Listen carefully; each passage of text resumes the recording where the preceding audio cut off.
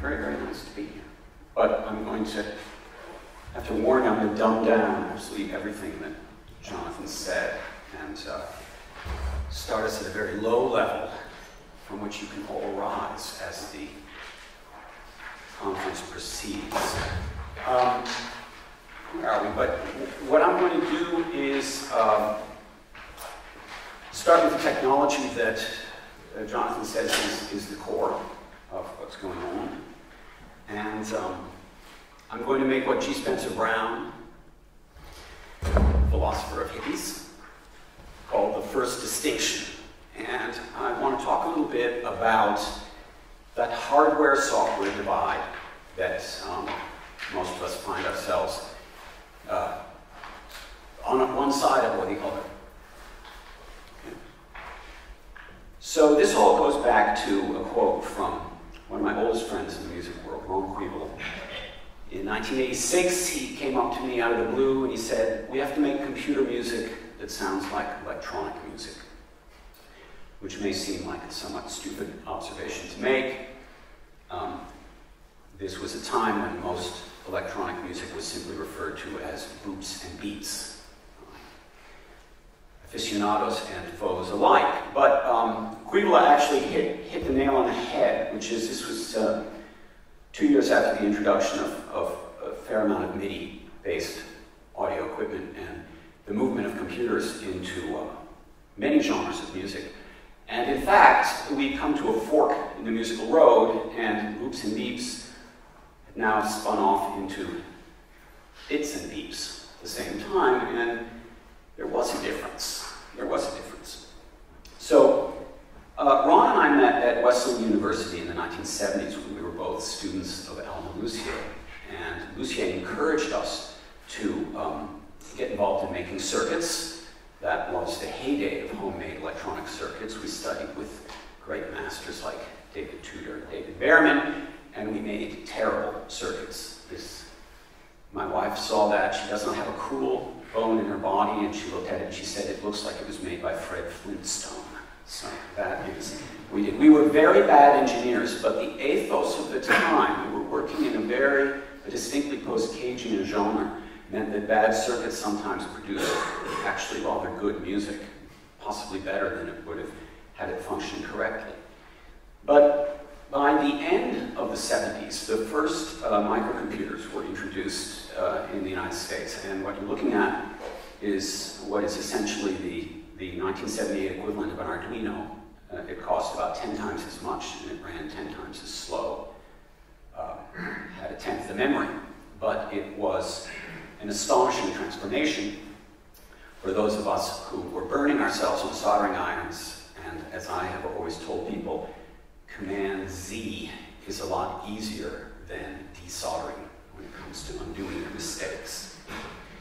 But um, by 1985, 86, middle of the decade, you had a proliferation of two things. You had MIDI-controlled synthesizers of rather remarkable audio sophistication, and you had uh, computers that came with relatively robust operating systems, and people were writing software allowed you to do sequencing and voice editing and things like that. Now, it's an interesting point in the history of the technology, which is that computers at the time, CPUs, were not fast enough to do direct sound production. Okay?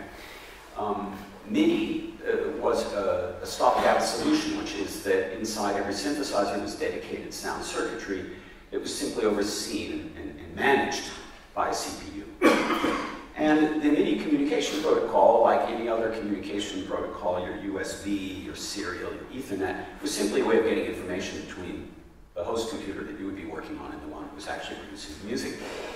Um, unfortunately for a lot of us uh, who thought of ourselves as composers with a capital C, MIDI was, was a little like Esperanto. It was a, it was a very finite language, and it was, it was focused very much on that which was the most uh, uh, uh, profitable from a business standpoint aspect of the music industry, which is making notes. Notes. Like those instruments make notes, okay? And um, it, it, tended to favor sort of note-driven, time-based events, uh, which stood in a marked contrast to the ethos out of which many of us were working, which was, quite frankly, a chaotic mess. And this produced a distinctly different type of music. Um, this was also the time in which MIDI was allowing us to sort of create these exploded instruments where there was a great separation between the performance and the actual sound. You had controllers that would connect to other things. And there was power, but there were very definite impediments. Okay? Now, now, now, we are here, and we are in a state where the sound and, for that matter, video production capabilities of a computer uh, exceed those of the DSPs and, and, synthesis engines of the 80s in terms of pure horsepower. Uh, one can theoretically do anything, like a wiggly line over it, uh, that one could have done with the earlier generation of hardware-based processing. And yet, not to spoil the party, I hear a difference. I still hear a difference between computer music and electronic music. So, what I want to talk about are, are distinctions between hardware and software in terms of the way, primarily in terms of the way they influence how you go about making music. Okay? The thought process, the conceptual process. And the decisions you make early on in the, in, in, in the act of music making that cause you to choose one solution over the other. Now, it's somewhat of an arbitrary distinction because most electronic music today uh, combines hardware and software, right? Computers and iPhones ultimately reach us through amps and speakers, which are incredibly analog devices. And an awful lot of uh, hardware-based practice, say like circuit bending, when you look real close inside, you see little blobs that are in fact microcontrollers running rampant around the circuitry. There's very little purity anymore. But at the same time, I maintain that arrays of semiconductors on a circuit board and lines of code and software have specific distinctive traits that are inherent to their domains. And that depending on the balance of hardware and software in a given piece of technology, in a given object, in a given instrument, there is a certain sort of softwareness or hardwareness embedded in the device. And we're usually pretty sensitive to that. And uh, that manifests itself on a number of levels. Uh, one is pure sound. Sometimes there's a sonic distinction between the two resources.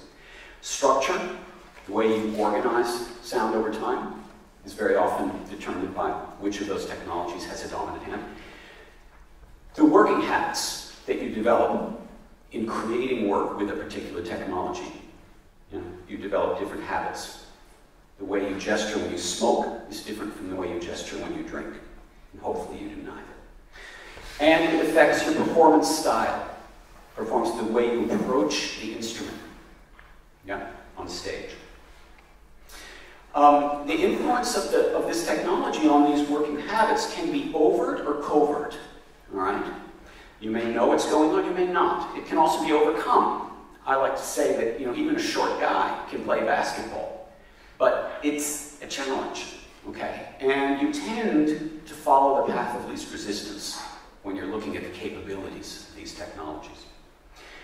So what I want to do is draw attention to what I regard as the distinctive differences, to use a linguistic term, between hardware and software, how they influence the way we work, and how historic persistence in these genres, in these media, in these tools, predispose us to make decisions and assumptions based on which technology we've chosen.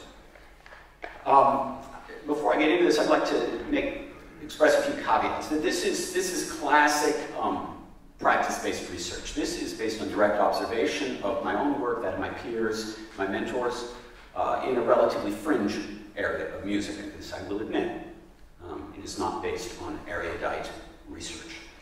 Uh, when I refer to hardware, I'm actually talking about not just circuitry, but any fundamentally mechanical device. Something that is hard. Yeah? Acoustic and electric instruments included. When I refer to software, though, I'm basically talking about code. And this can be code of the sort that we run on our, our personal computers, or it can be code that's embedded in a microcontroller, in a DSP, but it's code. Uh, I, I toss around the word infinite and all I mean, excuse me, is a hell of a lot. All right, it doesn't mean infinite. And likewise, random just means really unpredictable when I use it. I know I'm wrong, but I'm too old to learn. So, here, here are a handful of traits that I see. Um, dimensionality. Uh, acoustics are 3D, even 4D. There's this sense of sound filling a space over time. And those of us who move back and forth between working with instruments and working with speakers are aware of that brilliant sense of physical presence that comes from musicians distributed on stage that, that, that no sound dispersion system ever seems to be able to, to imitate. Um, circuits are two-dimensional. They're plane, okay? That you can have simultaneous activity taking place. You can have several threads of, of current flow on it, but they are on a plane. Uh, Alvin Lucier once made Ron Kuivila very angry by saying in an interview with Robert Ashley, um, I'm not interested in circuits because circuits are flat and sound is three-dimensional. And I have to say, he had a point. You know, are flat, but there is this sense of parallelism which stands in marked contrast to software, which is fundamentally a line. All right? All code is fundamentally sequential. Yeah. Whether you're, you're, you're, making little patch together blocks with PD or Max, or you're writing your code in SuperCollider, in the end, it's always a linear execution of instructions. And there are obviously parallel computing systems, but still those lines are running strictly independently and linearly. And that actually affects the way you think about a problem. Because when you solve a problem in code, you think of it as a sequence of steps. And you don't necessarily do that when you solve a problem on a guitar fingerboard or in a circuit. Hardware resides in the physical world. And as I get older and I continue to carry around pieces of electronic music that works with heavy hardware, I look at my friends who are laptop artists and I think, ah, there but for the grace of God go I. In other words, hardware is heavy. Hardware is real. It has these finite qualities to it. Think about a potentiometer, right? Technically, what we call a knob. Okay, something you turn, something you slide. It has limits. It moves 280 degrees or it moves 10 centimeters. And it doesn't go any further. If you want a number a little bit bigger, that's tough. Okay, that's what it does. Hardware has edges, yeah? Software, on the other hand, software is ethereal. Software is what you make of it, right? If you program a potentiometer in code, right? And let's say it has a range of 1 to 100. And then you decide, actually, it would be great if it went to 101. You can do it. You don't have to chip away at the strata of the potentiometer and weld on another little bit of metal. Okay? Page. So, hardware has physical givens that are there when you pick the instrument up. And software is always kind of like jello. It's always changing its dimension. It can be easily moved and adapted for what you're doing.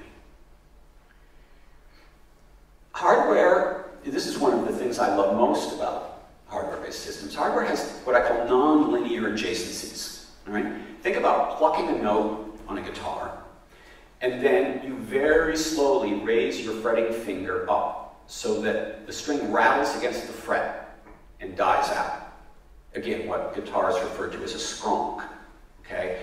That noise is made by a fraction of a millimeter of movement of your finger. Now, you can program the infamous Karplus Strong plucked string algorithm developed by a classmate of Ron and mine at Wesleyan, by the way. This is a shout out. Beautiful little piece of code makes very effective, very, very CPU efficient plucked string sounds. If you want to make that skronk sound, you have to write a completely different set of code to produce it. You cannot change one bit in the Karplus strong algorithm to have it go to the adjacency of the buzzing fret. That just doesn't happen. Okay?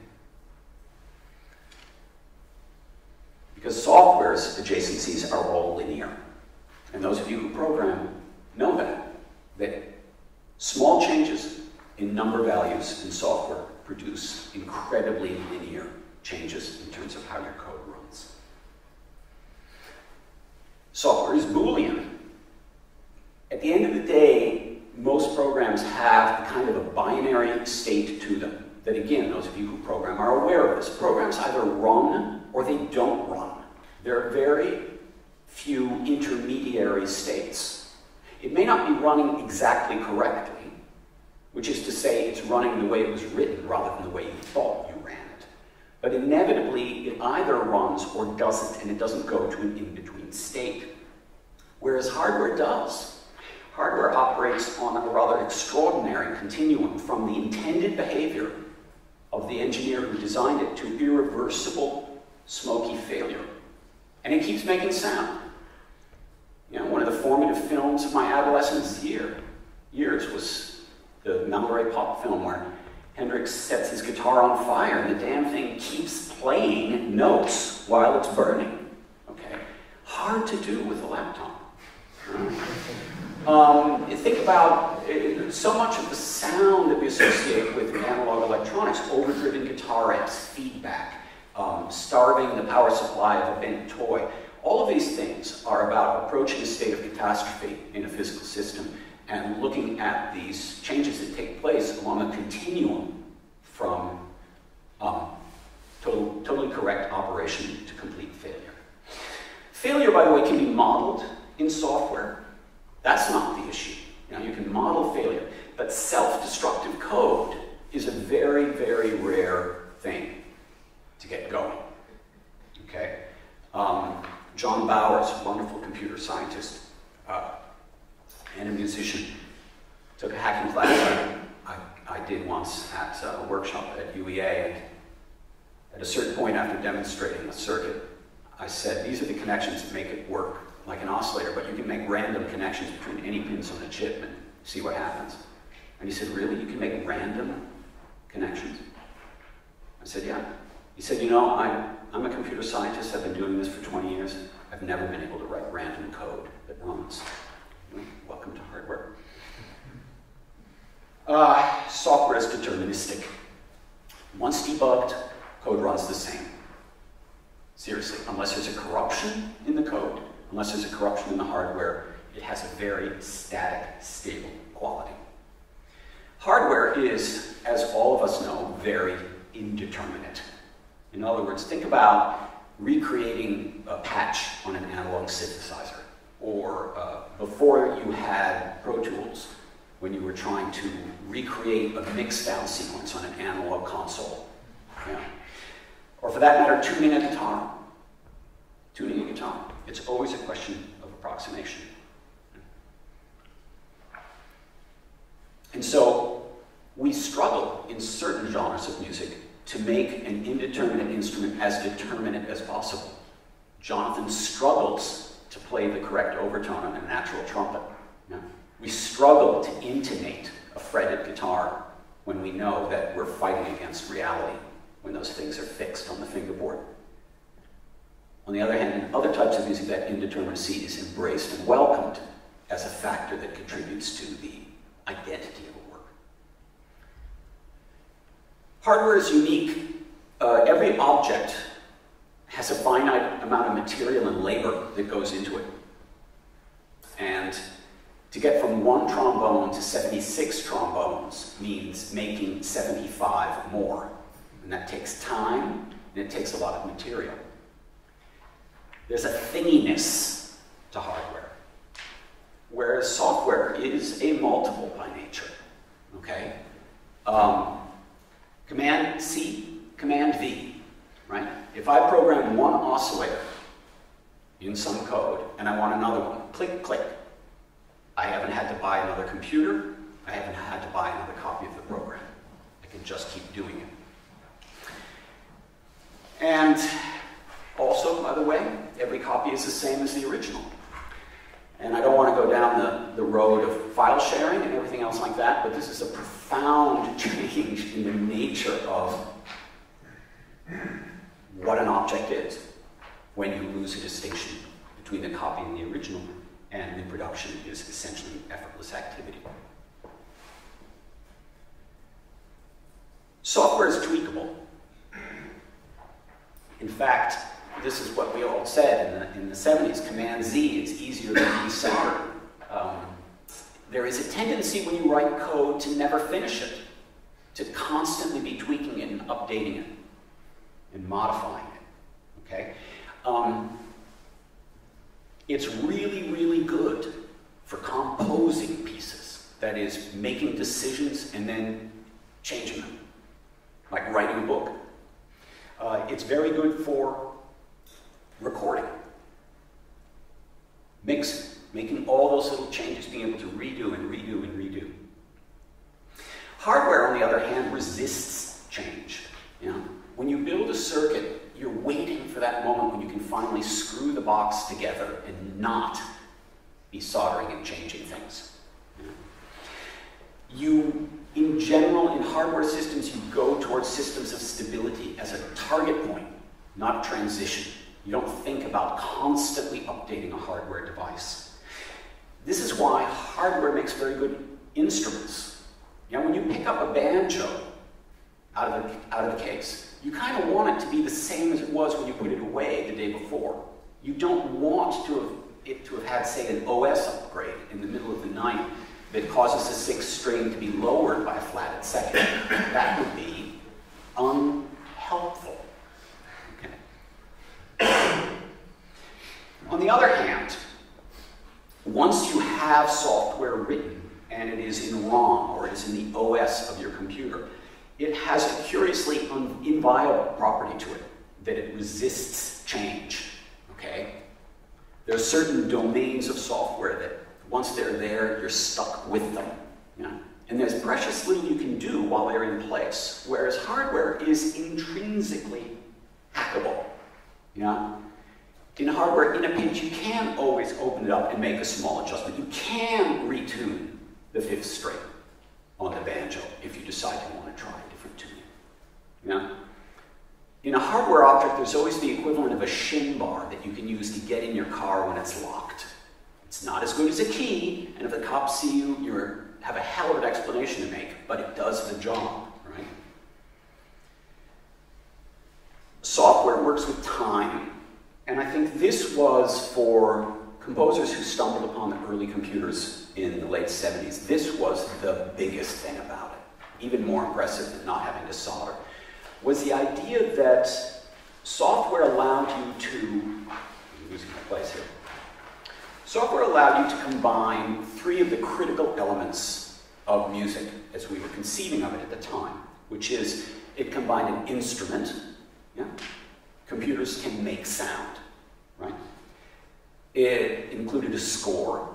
That is, you could create pre-scripted sequences of actions. Long before sequencers came onto the market for driving MIDI synthesizers, composers were creating pre-sequenced works of music that resided in the minuscule amounts of memory we have in these computers. And then finally, it could embody the performer. The software could embody the performer. It could make decisions. Instead of having the sequence just run, you could ask the, the program to make a decision at certain points. Should I take the left path or the right path? Just like a performer, but less dependent on drugs, alcohol, or money. Right? So this was a powerful new paradigm for music creation, and those of you born after the advent of the computer have no concept of what a transition this was.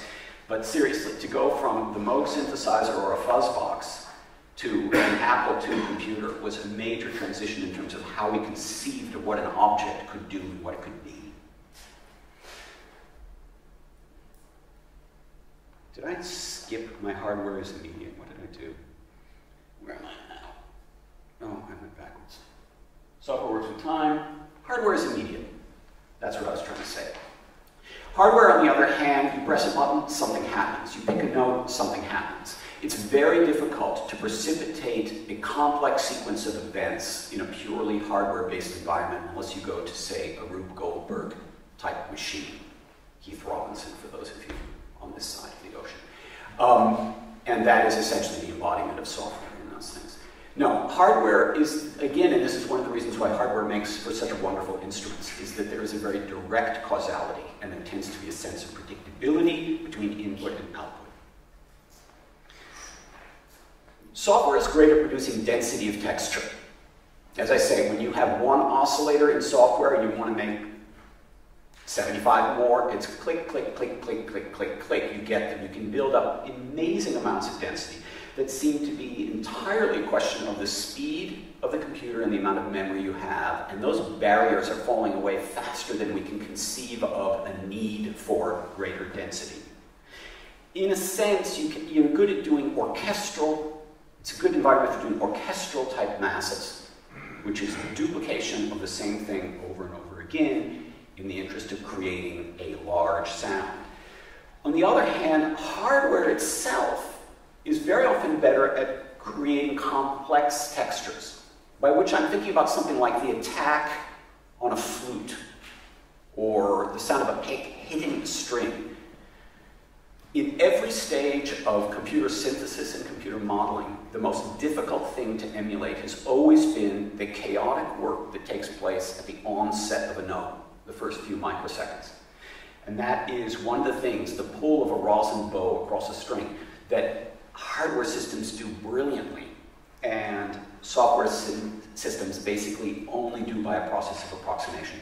This is at the essence of what we might call Kuivila's dilemma of why it is that computer music very often doesn't sound like electronic music, is because there's a certain essential property of chaos that's very, very difficult to attain in software systems. Software is now, software seems to live in the permanent present. Uh, as you know, you are forever updating it, whether it's the code you write, or it's the apps you're using, or it's the OS for your computer. There's never a sense of this violin was made in 1780 and has remained the same ever since. No, it's, it's in a constant state of. Right? It's improving and it's replacing things with each improvement, typically hardware, but also itself. And hardware is yesterday. Basically, as soon as you finish a piece of hardware, it's old. No, it's old. It's time stamped. It is that violin. And this is why there is such a tendency to replace certain hardware tools with software, because it does not become obsolete as quickly. At the same time, um, my wife made a brilliant observation once, which is that before any given tool is replaced by a superior device, the qualities that don't serve its main purpose can be seen as weaknesses, defects, or failures. Think of the ticks and pops of vinyl on records. Think of oscillators drifting out of tune, tape hiss, distortion. But when a technology is no longer relied upon for its original purpose, these same qualities can become interesting in and of themselves. In other words, in the 90s, as soon as um, digital audio became the standard by which we consumed and produced audio, suddenly there arose a whole interest in record ticks as a sound material. Any of you who listened to German electronica of the late 90s know this. Clicks and cuts out of Thrill Jockey and Mille Plateaux in Chicago. Same thing. Yesterday comes back. So, lest you think I'm too doctrinaire, I'm, I'm well aware of the fact that there are um, obviously hybrids, right, of these uh, two worlds. They don't exist in complete separation. Interfaces. The Arduino. The Arduino is a magnificent device, and it came about at exactly the right time to solve a problem that independent composers and institutions like STEIM have been working on since the 80s, which was how to interface to software from the physical world. The Arduino is a small computer whose purpose is exactly that. The glue between hardware and software. And it allows you to create these, these, these hybrid systems. But I would say that, that, that a, a hardware-controlled software is sort of like a baby in an incubator, which is, you know, it's great. The baby's there, she's alive, and that's a fabulous thing. And you can reach in with those gloves and tickle it, but what you really want is you want the baby on your shoulder throwing up on your back. That's hardware. Yeah? You don't want to have to touch it through the rubber gloves. And rubber gloves are what the Arduino gives us. You also have software emulations of hardware, as you all know. I mean, the app market and the plug-in market for computers is driven by the software that emulates vintage amplifiers, certain types of mic response patterns, everything else like that. But what's interesting is that there are some things that are much easier to emulate than others. Yeah? You can get a very beautiful emulation of a Moog synthesizer on your iPhone. You cannot get the emulation of a dirty pod. Okay? Um, and then we also have the advent of 3D printing and various forms of rapid prototyping, which allow this sort of instant gratification, wish on demand. I want something, I can make it. I don't have to wait. I can make a physical thing directly output from my software. And that's kind of interesting because it is sort of, it, it, it's allowing us to flip back and forth between the two worlds faster than ever. I will have to say, though, that there's already been a kind of a backlash about it. There's a very interesting essay by a woman named Alison Arif called Yes, We Can, But Should We? which is about this rush to make anything that you think you want, that it leads to a sort of a surplus of objects at a time when we should actually be thinking a little bit more about material resources and the final outcome of the things that we have made and played with for a day. All right, so that's my that's my set of bullet points on what I see as the sort of prime distinction between these two worlds. And most of us end up working between the two. I don't think it's possible to live exclusively in one or the other these days. Um, I came of age as a composer in the 70s at the time of the, the, the era of the composer-performer. Yeah. There were all these small groups, the Sonic Arts Union, Terry Riley, uh, ensembles of Steve Reich and Phil Glass. Um, there was this kind of allure of the rock band at the end of the 60s when a lot of these composers realized they were really nerdy. And there was also that idea of retaining more control over your work yeah? by, by performing it directly instead of handing it off to an ensemble. And then, to be perfectly honest, in those days the orchestras would not touch these composers. Yeah. There were no opera commissions for Phil Glass in 1972. Um, and in, in, in the case of that model of sort of total control, I think that the computer turned out to be a really, really great solution because of this integration of instrument, composition, and performer within one system. And you can adjust the balance between the two. Um, that idea of integration and control, very, very powerful. And I think at the end of the 70s, a whole movement developed based around that as the core technology. But at the same time, that was an era in which the distinction and the prejudices between composition and improvisation were sort of breaking down. And a lot of so-called composers were recognizing that, that huge swaths of the music data bank were based on a great deal of improvisation instead of through composition. And there was a renewed interest in alternative instruments, uh, music from other regions of the world, um, the development of the open form score as a way to acknowledge the presence of a performer as a person who makes intelligent decisions instead of just executing instructions. And I think that those composers and performers who went down the line of sort of embracing more spontaneous and more improvisation-driven performance styles tended to gravitate more towards the hardware systems because that hardware seemed to embody the essence of a performance instrument better than a lot of the software, especially the early software. Um, finally, I, I'd just like to say that one of the remarkable things about people yeah, is they are irrational, that they are not highly predictable. Um, they're not Boolean. And there is a glorious irrationality that sets up as soon as you have a group of people doing anything together, and it might as well be music. And I think that that quality of irrationality in humans is what attracts them towards impractical things. That I think sometimes imperfect and impractical objects interface well with um, the unusual inner dynamics of people working together in unpredictable situations. I think that's about all I have to say.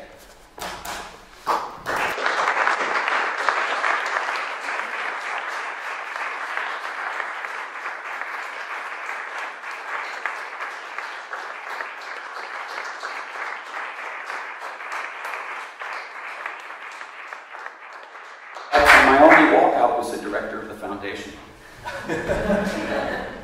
Thanks so much, Nicholas. Questions? It's on the way down.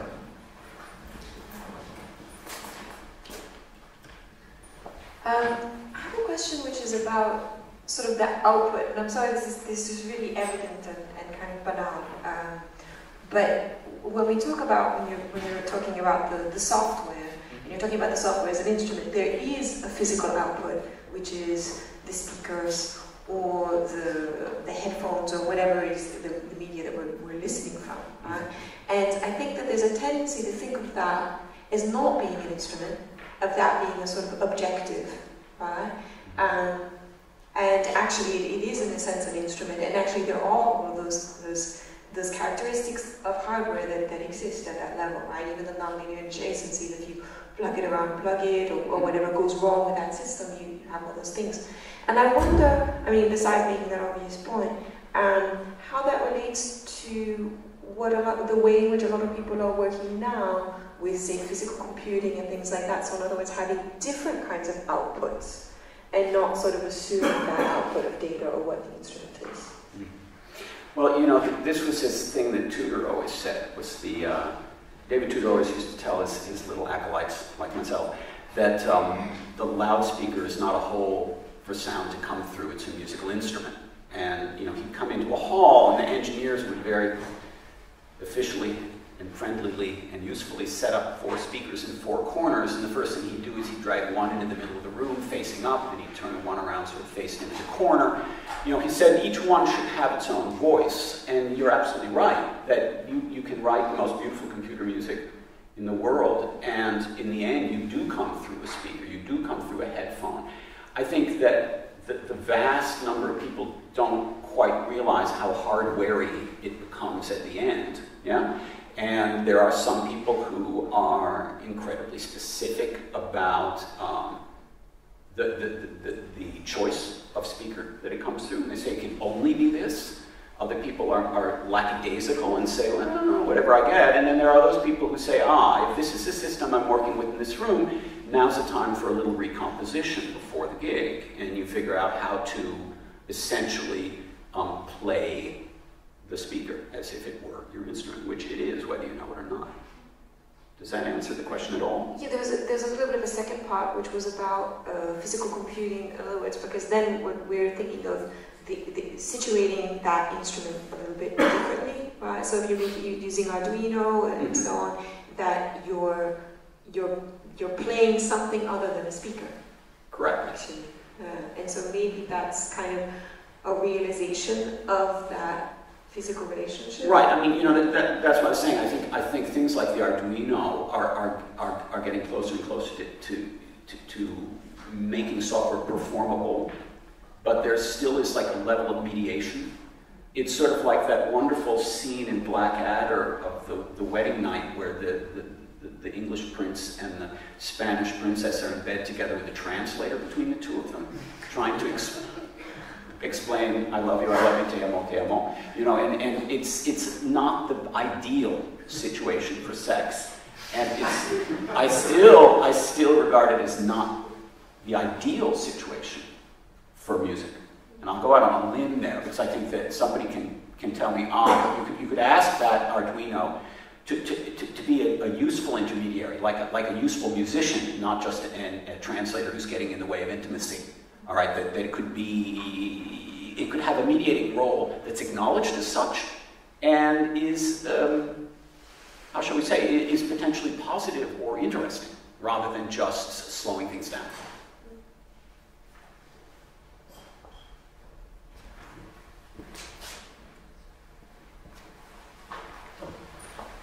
My name is.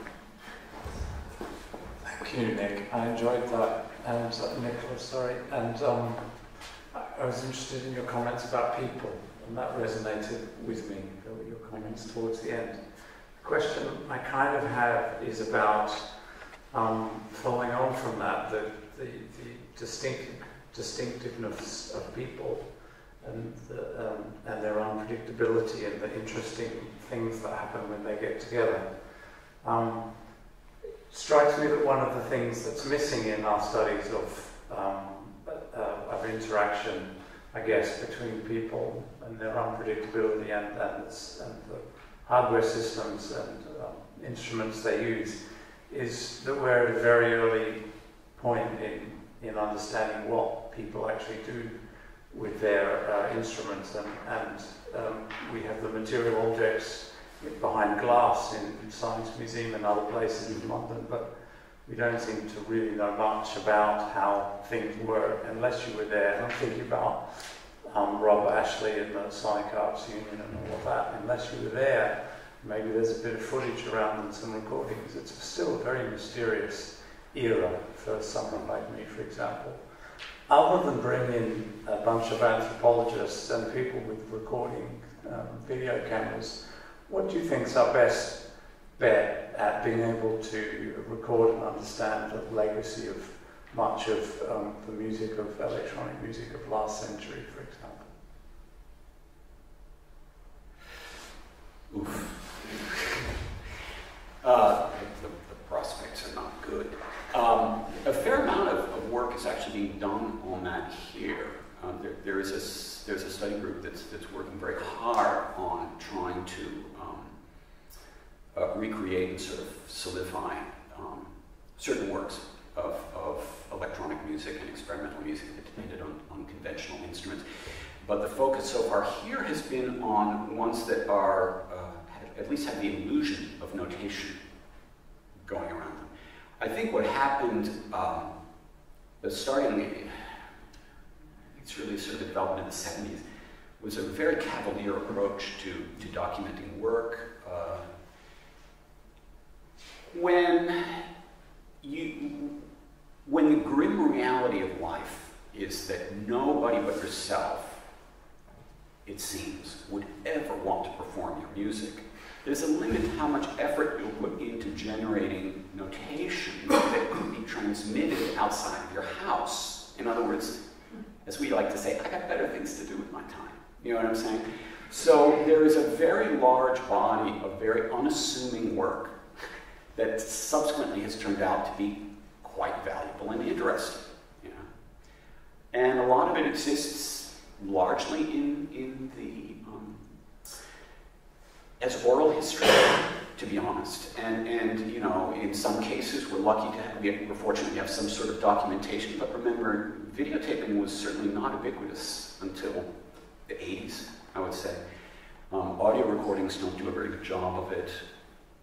Uh, Wesleyan University has acquired the, uh, the, the, instrument collections of David Tudor and David Behrman, both but the documentation of those is very poor, and there are graduate students there who are sort of, you know, it's like art historians looking at um, pottery shards coming out of archaeological digs, trying to, trying to figure out how the stuff works.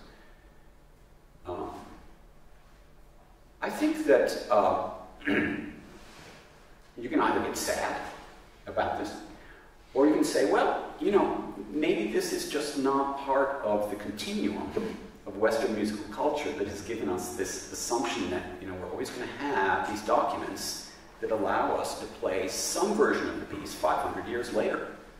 It may be more like what used to be called in my college days world music, which is there's a lot of music out there that's conveyed by oral tradition, and if there's a break in the continuity of that, it's gone. Right? So I don't know it, it, may be that some of this is, is doomed to be uh, rather more ephemeral than the composer may have intended, that their, their fans may want, but that could be it. I think that we're also in a state where, uh, for many, many people, uh, the recording of a musical work is the prime version of it. In other words, I don't think the average consumer of, of um, Funky House worries too much about whether these tracks could be recreated by another artist in the future. They just love that one 12-inch dance record and they're happy to own it. And if somebody else has a tape of it, great. That means if I lose mine, there's backup. That puts rather a different level of value on, on where's the essence of the work. And I think that for an awful lot of music today, if you've got a good recording, you sort of step back from it and say, that's the best I can hope for. It doesn't work for me, but it does work for an awful lot.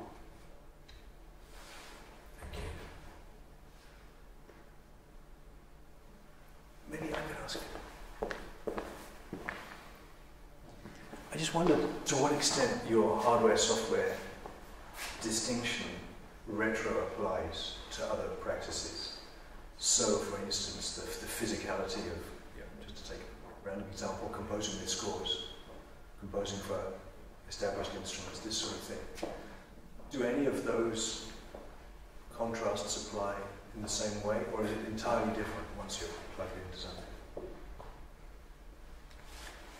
Well, I think you were the one who, who pointed out to me something I'd never thought of before, and had I been a smarter person, I would have, that the difference in the availability of paper between the time of Bach and the time of Beethoven, and how that influenced the, uh, the way you compose and edit.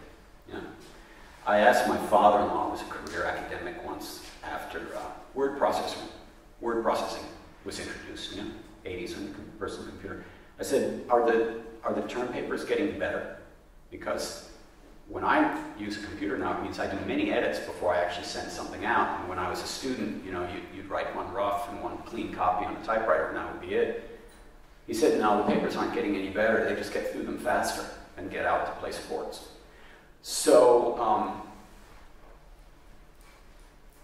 you know, the question is, does a composer who can use Finale or Sibelius write better music because they can obsess upon correction and, and, and, and uh, updates in a way that, you know, was, was just a lot more difficult when you had to write it all out on paper?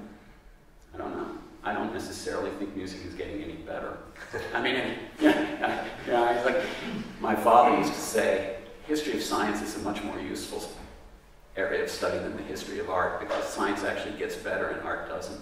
So, um, well, one of the things we've been dealing with here is the fact that the communication of science has got immeasurably better, mm-hmm. while the communication of art seems to have given up to a larger degree. I think a, lot of that may have to do with the fact that, that, that this sort of um,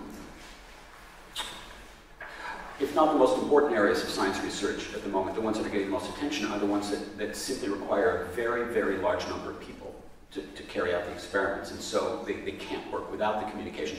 In the, in the age of the amateur inventor of the 19th century, I think you know, there was a sort of a different standard as to whether stuff was communicated well or not. But um,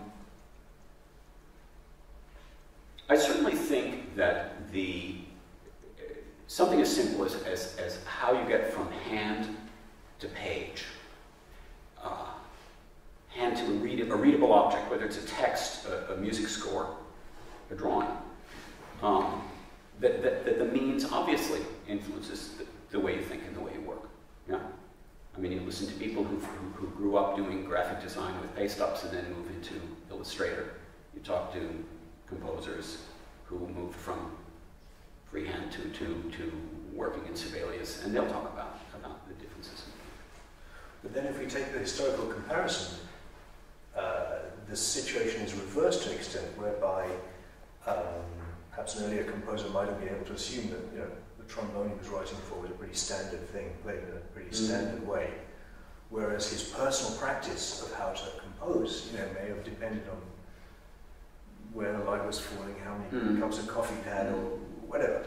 Um, now, hardware has become a much more personal, individual thing, whereas the software environments we inhabit are much more standardized because it's, it's yeah. simply too much of a challenge for an individual to produce one. No, this is true, and, and, and I, I see these scores constantly, you know, where they hyper-specify. It, it started with percussion, to be perfectly honest. I mean, if you look at percussion scores from, say, the 50s onward, you know, and, and, and the, the, the degree of specification of the individual instruments, the amount of time they have to spend on that compared to first violin, second violin, you know, it's, there's no comparison. The other one I think about though is the Bach. After, after you told me about the, the wax uh, tablets for Bach, I noticed, damn, that's why they have so many double dots. You know, it's like it saves you writing all that stuff out. And I went to see Einstein on the Beach revival a couple of years ago.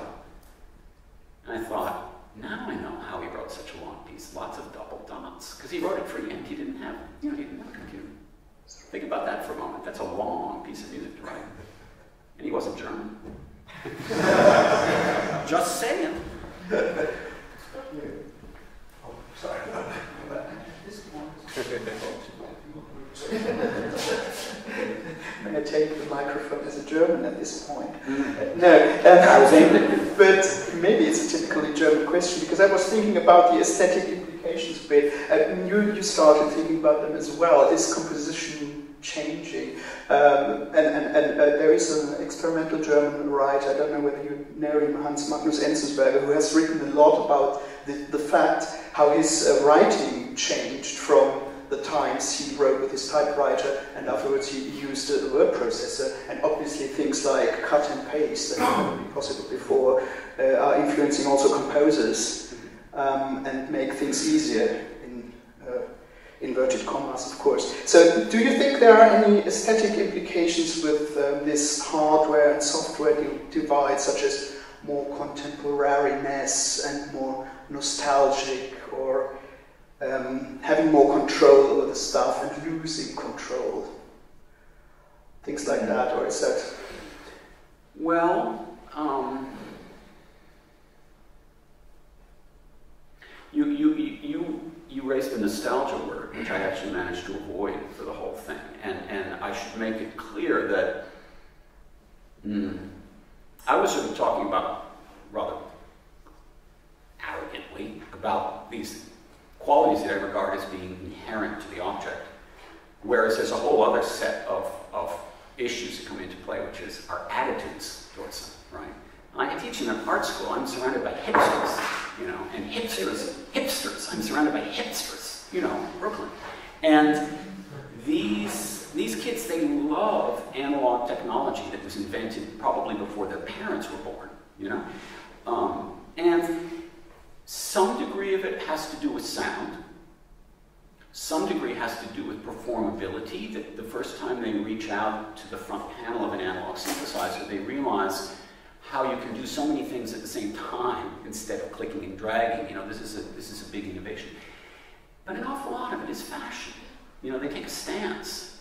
You know, they say, I like, I like narrow trousers and big knobs, you know, or something like that. And, and they just, they, they, they go down a route that is, quite frankly, you, you, you, you have to spend a lot of time asking them why they are making their decisions. Yeah. When, when you teach in, in this sort of a hybrid environment of multiple technologies, you notice people running towards particular things and you want to know why are you there and tell me truthfully. Okay? And that's, that can be rough. Yeah. That's Does that, I mean... I can confirm that having taught in London for 11 years, yeah. I can pretty much confirm similar things. Thank you. Yeah, I was just wondering what your thoughts would be on um, if you compare like writing a score to coding mm. and the relation to a score to an orchestra and working in software to controlling the orchestra like, you know, dictator style or, mm. or what the relate, uh, yeah, how you look at it. Like, could you, could you draw parallels between composing or like really going into detail and coding? Yeah, I mean, I mean, they're very, uh, they're, they're very similar processes because, as I say, I think I think coding is fundamentally a linear, a linear process, and the vast majority of, of, of scoring is linear. In other words, you may you may work on fleshing stuff out, but, but it tends to be the forward motion of the line, which is what carries you, um, and then you get hung up on, you know, you have all these little speed bumps along the way. I think one of, one of the differences is that in software, very often, unless you're working in a, in a, in a specific environment, like a sequencer, um, you, you tend to move back and forth between sort of instrument design and structural issues with some degree of fluidity. I may just be a more disorganized programmer than many people, and I write all my code. I, I use very few end, end programs. Um, if you talk to somebody who, say, you know, works works in, in something like Logic or Ableton, they may have a, a better uh, way of distinguishing between the different parts of the compositional process. But I think that it's that, you know, it's that inherently linear flow of, of crafting work over time. And it's only that sometimes software, of course, runs, it, it, doesn't always run in the same way that a score does. It doesn't go from beginning to end. You know, there's a lot more conditional stuff that can happen in software. So uh, the end product can operate differently, but I think the through, the through writing is probably pretty similar. How many of you, how many of you uh, write texts like in language? All of you, right? All of you. How many of you move back and forth between um, pencil and paper and a computer? Can you raise your hand if you still work in two months? Yeah. So my wife is, is an extraordinary writer and editor of prose, and she has what we call in our family the stations of the Susan, which is that she will go from sofa to desk to bed and move between clipboard and pencil and computer.